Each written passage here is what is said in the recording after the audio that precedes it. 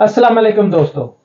तो बहुत सारे लोगों का क्वेश्चन होता है कि जी दुबई के अंदर या यूएई के अंदर एक्चुअली लोग यूएई को ही दुबई समझते हैं, लेकिन यूएई जो है यूनाइटेड अरब एमरेट जो है, इसकी सात रियासतें हैं, जिसमें से एक दुबई है। अबू धाबी जो है, वो पहले नंबर पे है, क्योंकि पूरे यूएई का तकरीबन जो है 84 परसेंट रकबा जो है, वो सिर्फ़ अबू धाबी के पास है। बाकी रियासतों के पास जो है ना बाकी जो छह रियासतें हैं, उनके पास तकरीबन 16 परसेंट या इस तरह 18 परसेंट जो है ना टोटल रकबा है।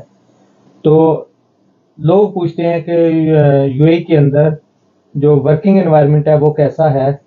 और ख़ासकर जो लेबर है, उसके लिए कैसा है? गर्मियों में सुना है, गर्मी बहुत होती है, लोग कैसे काम करते हैं? ये वो सारे सवाल हैं जो लोग पूछते हैं जब भी कोई जॉब के लिए आना चाहता है या विज़िट पे आना चाहता है, या वैसे visitor visitor as a visitor आना चाहता है तो ये वो क्वेश्चन है जो लोग पूछते हैं कि गर्मी इतनी ज़्यादा होती है, गर्मियों में हम कैसे घूमेंगे, फिरेंगे? तो जी दोस्तों, मेरा नाम है नासर गोंदल और मैं एक फाइनेंशियल प्रोफेशनल हूँ तो मैं यूए में होता हूँ। तो आज मैं आपको बताऊँगा कि यूए के अंदर गर्मी की क्या सूरत होती है और वर्किंग एनवायरनमेंट कैसा होता है। एक्चुअली गर्मी नो डाउट के गर्मियों के अंदर समर सीज़न जो है, वो गर्मियों यूए के अंदर बहुत ही हॉट होता है। उसमें टेम्परेचर काफ़ी हाई होता है। लेकिन यहाँ पे लेबर लॉ जो है, उनको उनकी इम्प्लीमेंटेशन जो है ना, वो हर सूरत करवाई जाती है। तो यहाँ पे अब अगर गर्मी की बात की जाए तो उसका इफ़ेक्ट जो है ना, वो वर्कर क्लास जो है ना, उस पर ज़्यादा होता है। क्योंकि जो वाइट कलर लोग हैं, उन्होंने तो आपस के अंदर बैठ के काम करना होता है। तो उनको तो इतने मसाइल नहीं है। लेकिन जो ब्लू कलर हैं, यानी कि जो वर्कर हैं, उनके लिए, क्योंकि जिन लोगों ने साइड पे काम करना है, उनके लिए बहुत मसले मसाइल होते हैं गर्मी की वजह से। क्योंकि बहुत सारे लोग जो हैं, वो गर्मी बर्दाश्त नहीं कर पाते। तो उनको प्रॉब्लम होते हैं। तो, तो इसलिए यूए गवर्नमेंट का जो समर के एक पूरा स्केड्यूल होता है वर्किंग स्केड्यूल जो गवर्नमेंट की तरफ़ से अनाउंस होता है उसमें दरमियान में 12 बजे से लेकर 3 बजे तक की ब्रेक दी जाती है जो लोग साइड पे काम करते हैं यानी कि जो ओपन एनवायरनमेंट में करते हैं जिसके अंदर गर्मी होती है तो उन लोगों को तीन घंटे की ब्रेक दी जाती है। 12 से लेकर तीन बजे तक वो काम नहीं करते। काम उन्होंने डेली अपने जो आठ घंटे हैं वो पूरे ही करने हैं। लेकिन ये तीन घंटे जो है ना, बारह से लेकर तीन बजे तक वो उन्होंने काम नहीं करना, उन्होंने रेस्ट करनी है। वो रेस्ट जो है, वो वापस अपने रूम में आके कर सकते हैं। अगर नियर बाई हैं, अगर दूर हैं तो वो रेस्ट जो है, वो वहीं साइड पे कर सकते हैं, किसी भी शेल्टर के नीचे, किसी भी ऐसी जगह पे, जहाँ पे उनको ये धूप फील ना हो, ये गर्मी फील ना हो तो वो रेस्ट कर सकते हैं। लेकिन ये उन्होंने हर सूरत रेस्ट करनी है। कोई भी कंपनी कोई भी अरबाब, कोई भी जो ऑनर है वो उनसे काम नहीं करवा सकता इन, ये जो स्केड्यूल है बारह से तीन के दरमियान में, क्योंकि उन्होंने ये रेस्ट टाइम है गवर्नमेंट की तरफ़ से अनाउंस है, और ये कोई पाकिस्तान इंडिया नहीं है कि आप बाई फोर्स करवा लें। यहाँ जो लॉ है, उसकी कंप्लाइंस हर सूरत होती है, इसलिए यहाँ पे ये बात है कि 12 से लेके आपको तीन बजे तक रेस्ट दी जाती है।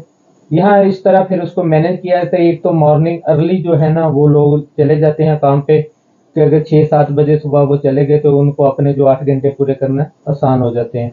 तो वो दरमियान में अगर तीन घंटे की रेस्ट भी करते हैं तो वो जल्दी अपने काम से फारग हो जाते हैं। बाकी बात रहे कि वाइट कलर की वाइट कलर को तो इशू नहीं है, क्योंकि जहाँ पे हर ऑफ़िस के अंदर, हर जगह पे एसी चलते हैं, गाड़ियों के अंदर एसी होते हैं तो उनको तो प्रॉब्लम नहीं होता कि वो काम करें तो उनको तो गर्मी से कोई इफ़ेक्ट नहीं पड़ता। इफ़ेक्ट सिर्फ़ ब्लू कलर जो हैं, जो साइड पे काम करते हैं, बाहर काम करते हैं उनको पड़ता है। तो जी दोस्तों, अगला क्वेश्चन ये था कि क्या इतनी गर्मी के अंदर लोग काम कर लेते हैं और ये ज़्यादा मुश्किल नहीं काम? क्योंकि बहुत सारे जो लेबर क्लास है, वो जब आती है तो उनको वो फील होता है कि ये वाकई बहुत मुश्किल काम है, इतनी गर्मी के अंदर काम करना। तो सीधी सी बात है, ये काम तो मुश्किल है। डेफिनेटली ये इतनी गर्मी के अंदर बाहर काम करना मुश्किल है। लेकिन अगर आप पाकिस्तान या इंडिया में रहते हैं तो गर्मी तो वहाँ भी होती है, वहीं भी आप काम करते हैं। बस फ़र्क ये है कि यहाँ पे आपको रिटर्न अच्छा मिलता है, वहाँ उतना रिटर्न नहीं मिलता। तो मजबूरन ही आपको आना पड़ता है और ये मजबूरी में यह काम करना ही पड़ता है। फिर भी यहाँ पे क्योंकि इंटरनेशनल जो लेबर लाया उनको फुल का, जो है इम्प्लीमेंट किया जाता है और उसकी बेस पे आपको बताया कि जो समर सीज़न होता है, इसके अंदर तीन घंटे की ब्रेक दी जाती है, जो साइड पे लोग काम करते हैं, जो बाहर गर्मी के ओपन एनवायरनमेंट में काम करते हैं, उनको तीन घंटे की ब्रेक दी जाती है। ये इसी चीज़ को मद्देनज़र रखा जाता है। और इसकी, इसके अलावा जो आपको पता ही है कि साल में तीस दिन की छुट्टी भी दी जाती है, इसीलिए दी जाती है ताकि लोग जो है फ्रेश होके आएँ अपनी कंट्री से, अपनी फैमिली को मिलें और ये चीज़ें, क्योंकि फ्रेश होके आएँगे तो फिर वो अच्छा काम परफॉर्म करेंगे और ये लॉ इसीलिए लेबर लॉ के अंदर हर साल में तीस दिन की जो है ना, वो एनुअल छुट्टी, वो कंपलसरी जाना है लोगों ने। यानी कि कोई भी एम्प्लॉयर जो है वो अपने किसी भी स्टाफ को रोक नहीं सकता कि वो छुट्टी ना जाए। सिर्फ़ ये है कि वो काम की कोई नीयत होती है कि दोनों का कंसेंसस हो जाता है कि वो प्लान कर लें। कुछ लोग जो हैं वो कहते हैं कि नहीं जी, हम साल बाद नहीं जा सकते, हम डेढ़ साल बाद जाएँगे।